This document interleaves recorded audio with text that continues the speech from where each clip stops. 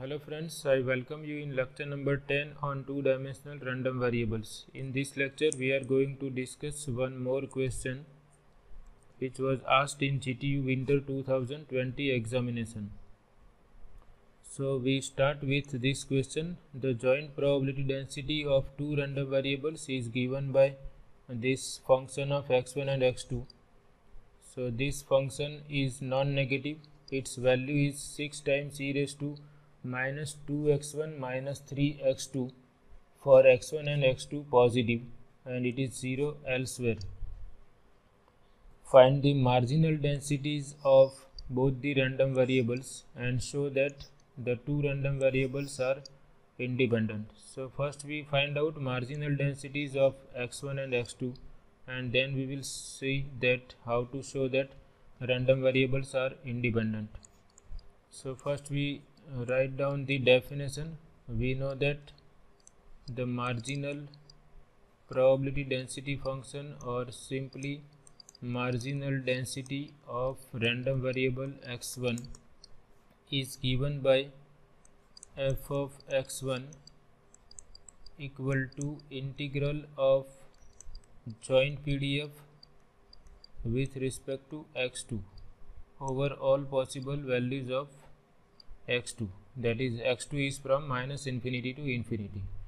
Now before uh, integrating this uh, first we notice that if x1 is mm, less than or equal to 0 then f of x1 will be 0 because this uh, density function is non-zero.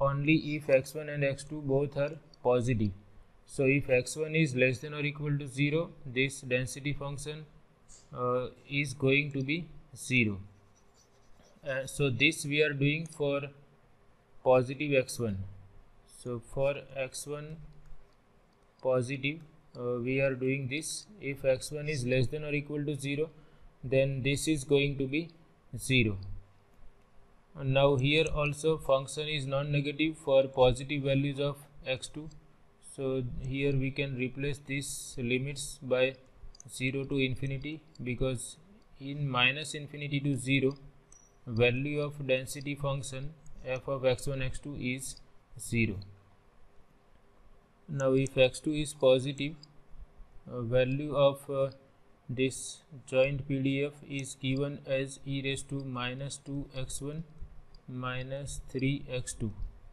integration is with respect to x2 so because we are integrating this with respect to x2 uh, we will consider x1 as constant. So this 6 into e raised to minus 2x1 will be considered as constant. So we can rewrite this function as 6 times e raised to minus 2x1 times e raised to minus 3x2 integral is with respect to x2 so now this uh, 6 into e raised to minus 2x1 as it is integral of e raised to minus 3x2 is e raised to minus 3x2 divided by coefficient of x2 which is minus 3 here. Limits are for x2 from 0 to infinity.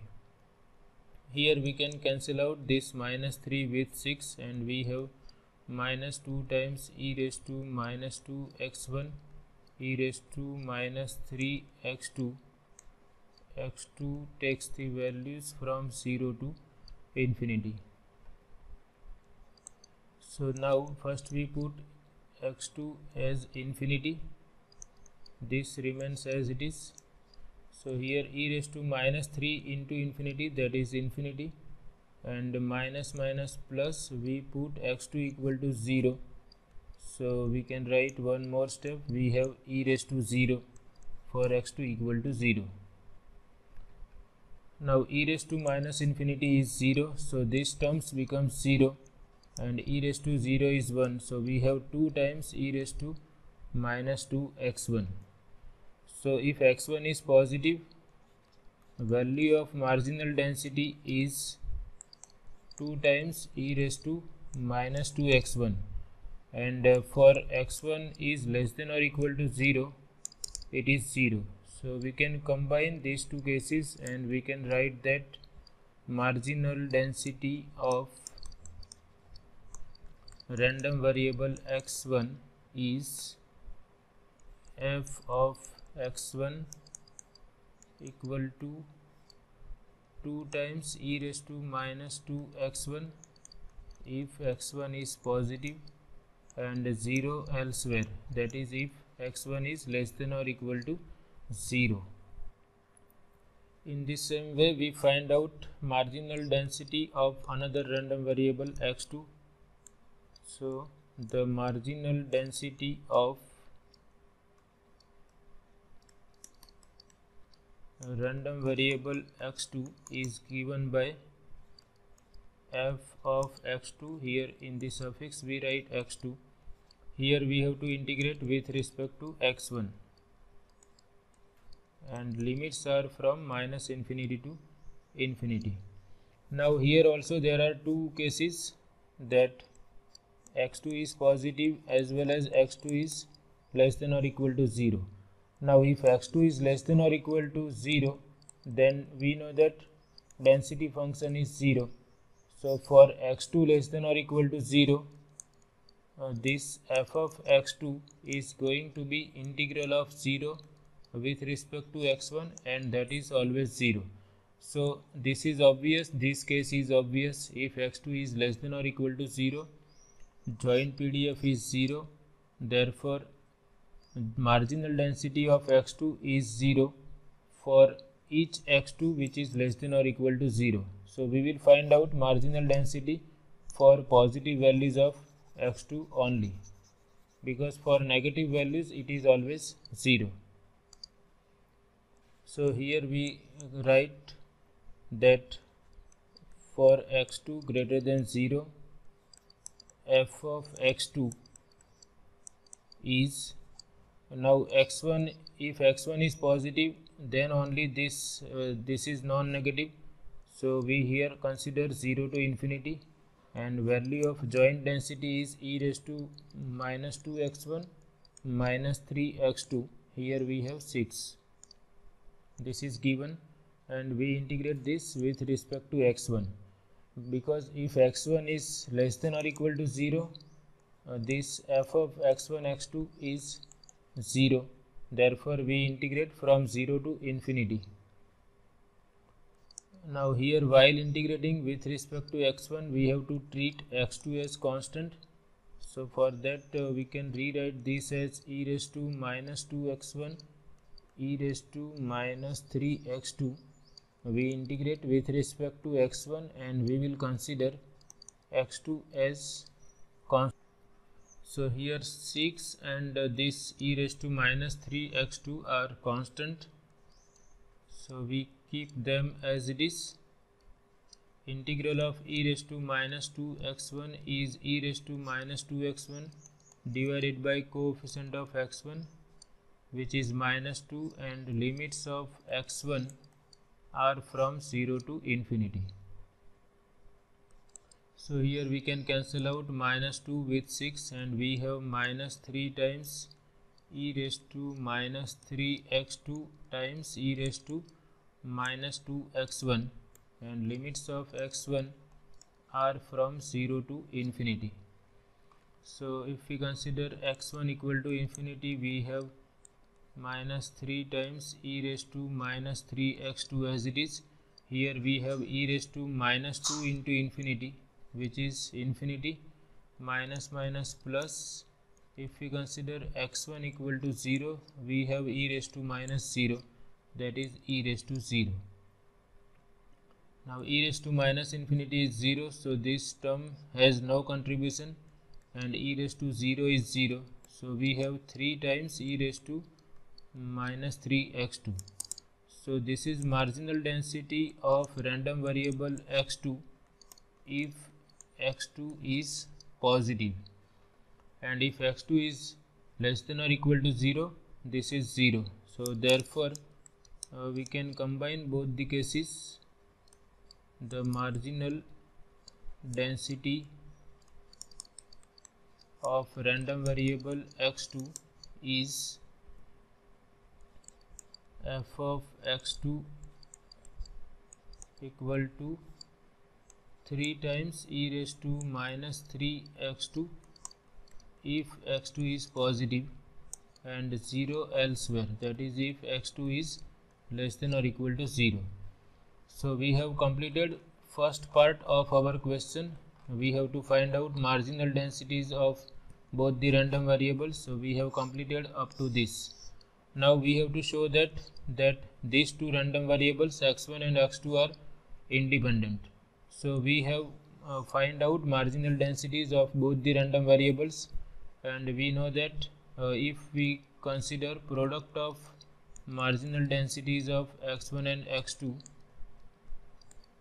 and if this product is equal to joint PDF of x1 and x2 for all possible values of x1 and x2 then random variables x1 and x2 are independent. So now we try to find out this product and we check whether this uh, and we have to show that this condition is satisfied because it is already given that random variables are independent. We have to prove that random variables are independent. So this product must be equal to joint density function. So now we find out product of marginal densities. So now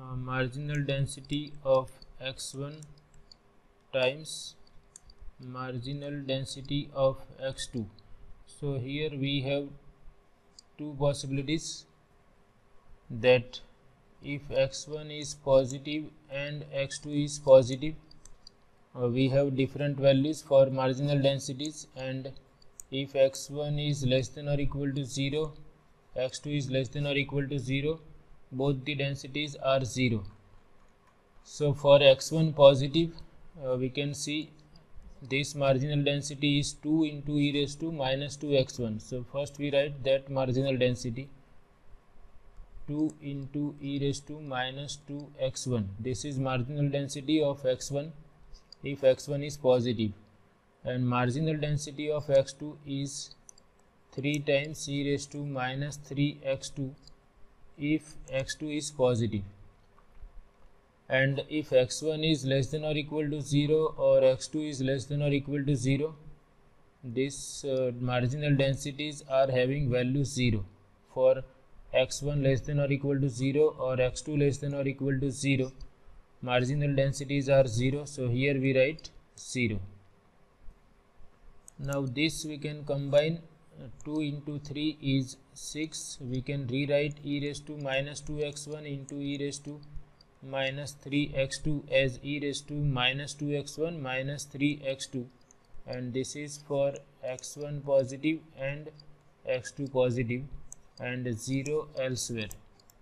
So we can see this is nothing but our given joint density function f of x1 x2 and this is true for all possible x1 and x2 so therefore we have shown that joint density of x1 and x2 is nothing but product of marginal densities of x1 and x2 for all possible values of x1 and x2 so therefore we can say that random variables x1 and x2 are independent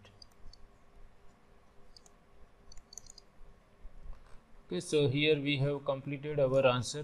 This is very easy question. You just have to remember the definitions of marginal densities and definition of independent random variables. So we can just recall that what we are using. Here we are using the definitions of marginal densities of random variable x1 and random variable x2 for marginal density of x1 uh, we have to integrate joint density with respect to x2 and for marginal density of random variable x2 we have to integrate joint density with respect to x1 and limits are from minus infinity to infinity. So if you are interested in the marginal density of random variable x1 integrate with respect to x2 and if you are interested in the marginal density of x2 integrate joint density with respect to x1 so remember in this way if we have x1 integration is with respect to x2 if we have x2 integral is with respect to x1 and random variables are independent if joint density is product of marginal densities of x1 and x2 and this must be true for all values of x1 and x2 okay so this is all about this uh, lecture. I hope you like it. Thank you very